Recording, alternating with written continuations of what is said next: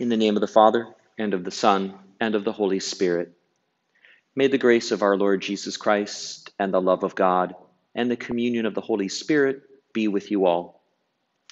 Brothers and sisters, welcome to the celebration of the Mass today on this Thursday of the seventh week of Easter. As we prepare to celebrate the sacred mysteries, let us acknowledge our sins. I confess to Almighty God and to you, my brothers and sisters, that I have greatly sinned in my thoughts and in my words, in what I have done and in what I have failed to do. Through my fault, through my fault, through my most grievous fault.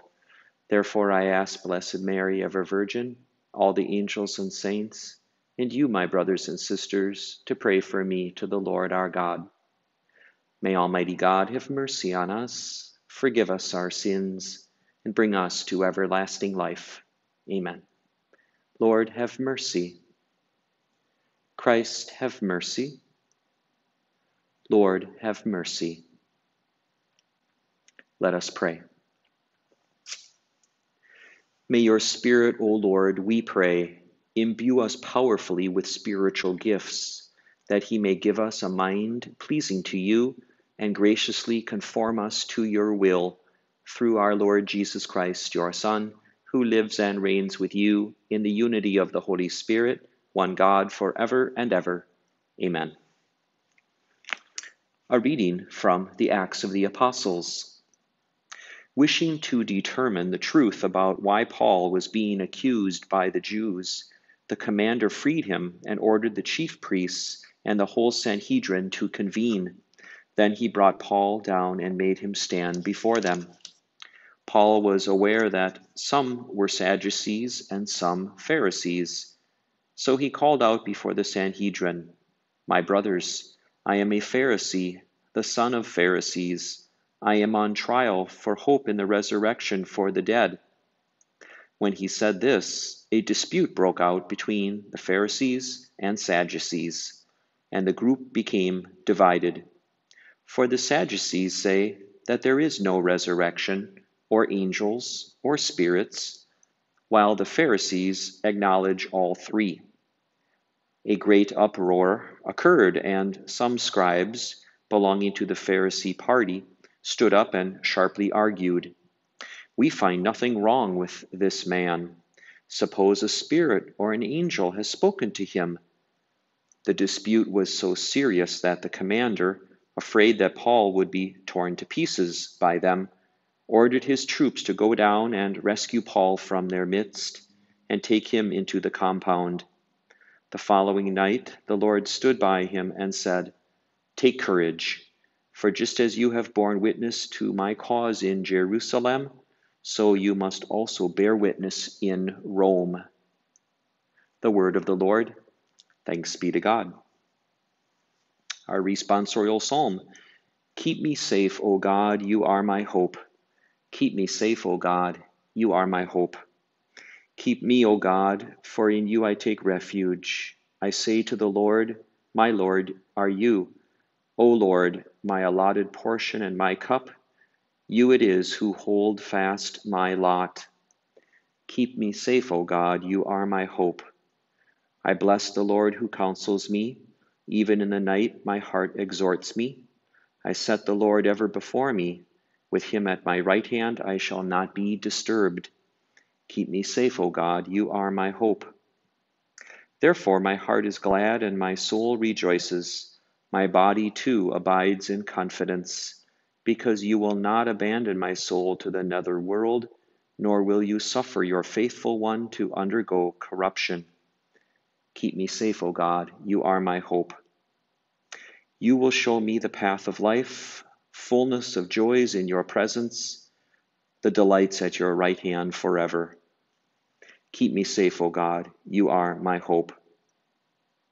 Alleluia, Alleluia, Alleluia, Alleluia. May they all be one as you, Father, are in me and I in you, that the world may believe that you sent me, says the Lord. Alleluia, Alleluia. The Lord be with you. A reading from the Holy Gospel according to John. Lifting up his eyes to heaven, Jesus prayed, saying, I pray not only for these, but also for those who will believe in me through their word, so that they may all be one, as you, Father, are in me, and I in you, that they also may be in us, that the world may believe that you sent me. And I have given them the glory you gave me so that they may be one, as we are one, I in them, and you in me, that they may be brought to perfection as one, that the world may know that you sent me, and that you loved them even as you loved me. Father, they are your gift to me. I wish that where I am, they also may be with me, that they may see my glory that you gave me because you loved me before the foundation of the world. Righteous Father, the world also does not know you, but I know you, and they know that you sent me. I made known to them your name, and I will make it known, that the love with which you loved me may be in them, and I in them. The Gospel of the Lord. Praise to you, Lord Jesus Christ. Our psalm for today, the responsorial psalm, is Psalm number 16 and has a wonderful refrain Keep me safe, O God, you are my hope. This psalm, Psalm number 16, could very likely have been written by David from the Old Testament, David when he was on the run from King Saul. And as we look at the book of Psalms, most scholars say that these Psalms are written by David. At some point in his life, uh, many of the themes of those Psalms are of a close relationship with God that David had. And here we, in this psalm today, Psalm 16, David calls out to the Lord and says, You are my hope. I bless you, Lord, because you are close to me. And with you at my right hand, I shall not be disturbed.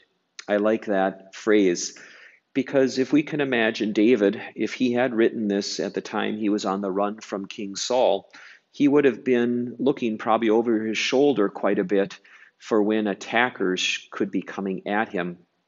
And in the life of David, he had risen from just a shepherd boy, uh, defeating then Goliath, and then coming into the royal court. And as the years passed, David became a soldier and a leader in the army, and he was going out having victories in battle. And King Saul became very jealous of this. Uh, king Saul was the king of Israel at the time, the first king.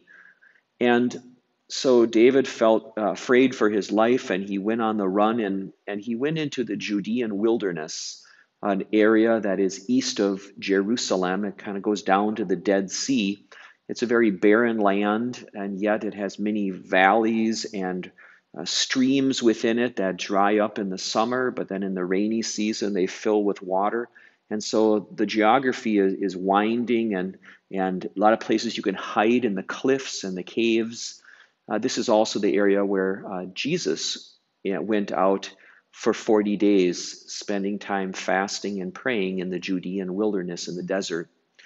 So, not just a desert of a lot of barrenness, but also rockiness and cliffs. And, and so, uh, imagine David out there praying to the Lord for protection and saying this psalm Lord, with you at my right hand, I shall not be disturbed. My heart is glad, my soul rejoices, my body too abides in confidence. I mean, there were nights there where I'm sure David had to go to sleep just hoping that he would wake up the next morning without being murdered in the middle of the night by, by some of Saul's soldiers coming to look for him. And uh, it looks like probably David spent uh, almost seven years, possibly, on the run, hiding away, and also other uh, refugees would come and join up with David because they too were on the run for one reason or the other. They're, they were wanted men and women, and so people would, would flock to David. So he almost built up a little a little army, although they didn't go out and fight any battles. They were just kind of a, a group of refugees on the run, trying to stay alive. And so then, eventually, as time would play out, David would uh, come back to Jerusalem because Saul was killed in battle, and then uh, David became king uh, of Israel. This close relationship that David has with God protected him and nurtured him in time of trouble. That's the kind of relationship we're invited into by God. God who loves us and protects us, who provides for our needs. So maybe if you feel in danger, if you feel afraid at times, if there and we all feel afraid at times in our life, think of uh, come back to this psalm, Psalm number 16, and read through it and, and just hear how David wrote this beautiful hymn, this beautiful song about the Lord showing him the path of life and fullness of joys in his presence, the delights at your right hand forever. David really believed in God being right at his side, at his right side. David felt I can I, I'm protected because God is with me. God is with you today to help you in time of danger and fear, worry, anxiety. Call out to the Lord. Let the Lord come into your heart and your life to keep you safe and to give you hope. We pray for our church throughout the world. As we come to the end of the Easter season on Sunday, may we continue to bring the joy of Easter and the resurrection into our daily life. We pray to the Lord. As we prepare for the Feast of Pentecost on Sunday, that each of us in the church may be enlivened by the Holy Spirit that came upon the church at the first Pentecost, we pray to the Lord. For our leaders in the world, our leaders in the church, that they may guide us through times of danger, we pray to the Lord. For the doctors and nurses and the medical staff, people that are working to help the sick, whether it be from coronavirus or other illnesses, we pray to the Lord. For all those who have died, may they rest in eternal peace, we pray to the Lord. Heavenly Father, we ask you to hear these prayers and in your goodness and wisdom to grant them through Christ our Lord. Amen. Blessed are you, Lord, God of all creation. For through your goodness we have received the bread we offer you, fruit of the earth and work of human hands. It will become for us the bread of life. Blessed be God forever.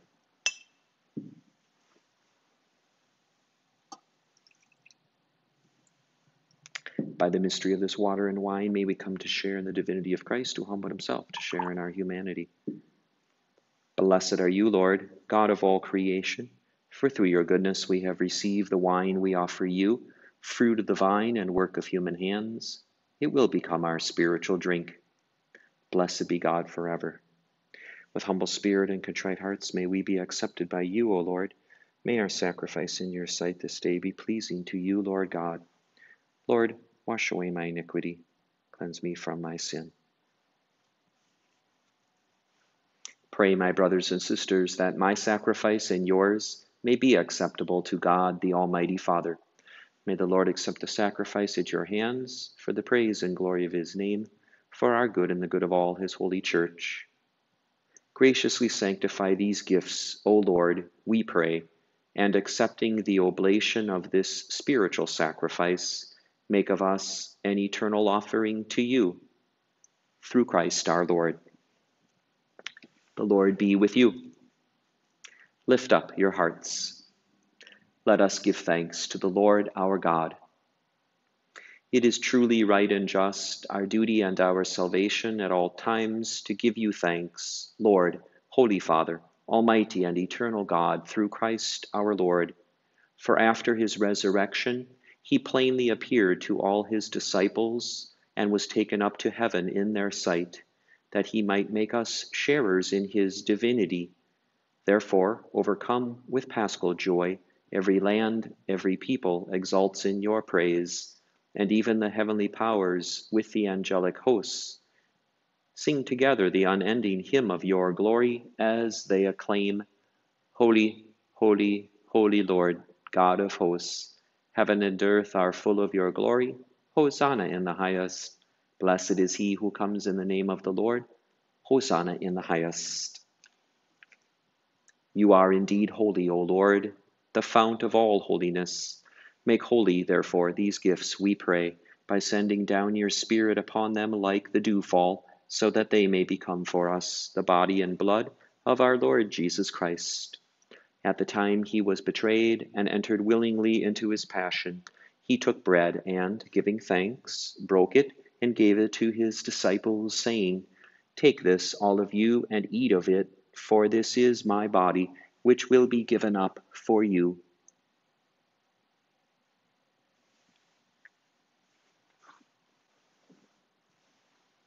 In a similar way, when supper was ended, he took the chalice, and once more giving thanks, he gave it to his disciples, saying, Take this, all of you, and drink from it, for this is the chalice of my blood, the blood of the new and eternal covenant which will be poured out for you and for many for the forgiveness of sins. Do this in memory of me.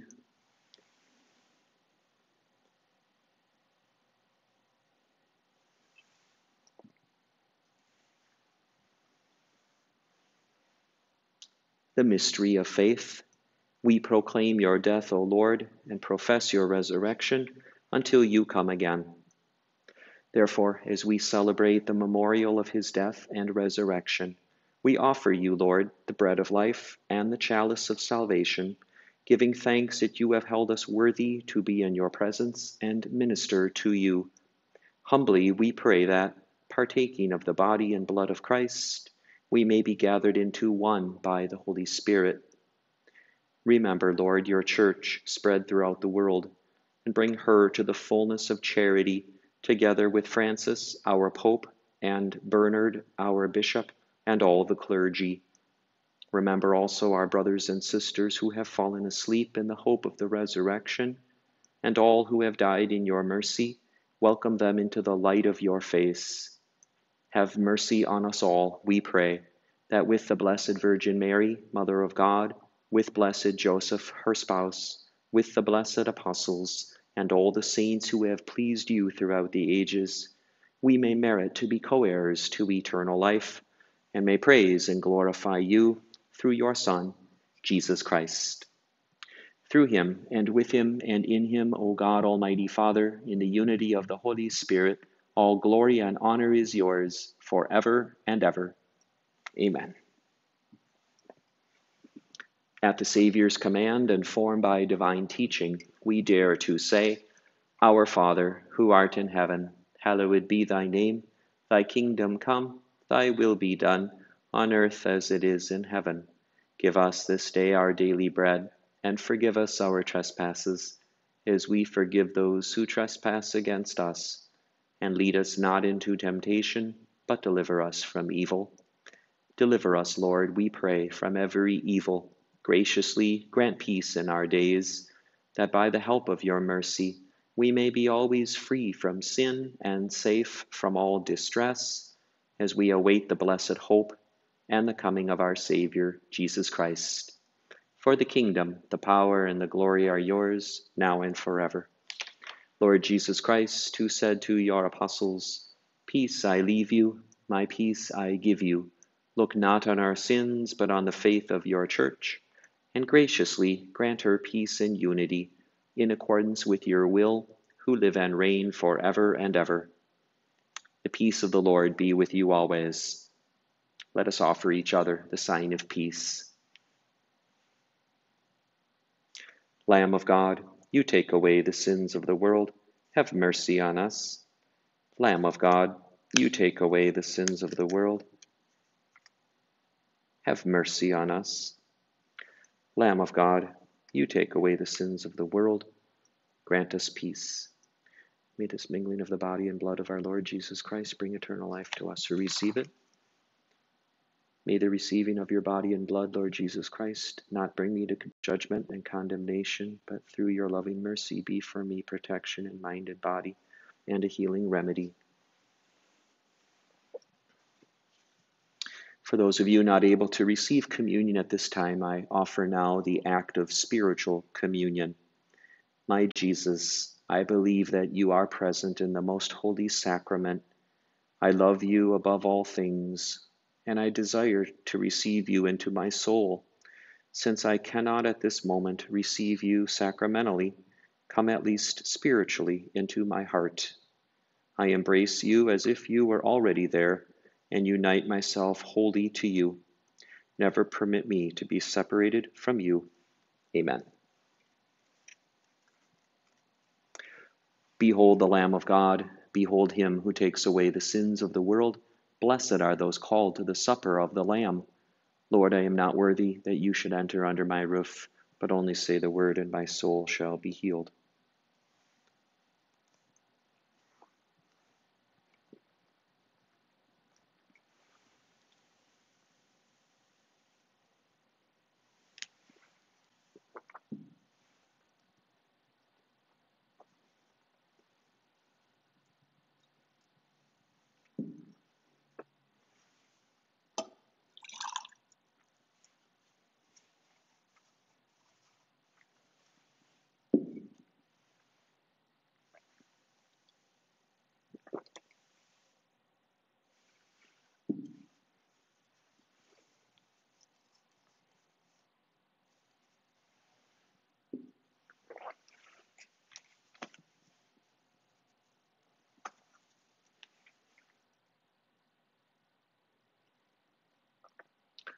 Let us pray. May the mysteries we have received, O Lord, we pray, enlighten us by the instruction they bring, and restore us through our participation in them, that we may merit the gifts of the Spirit. Through Christ our Lord. The Lord be with you. May Almighty God bless you, the Father, and the Son, and the Holy Spirit. Go forth the Mass is ended. Thanks be to God.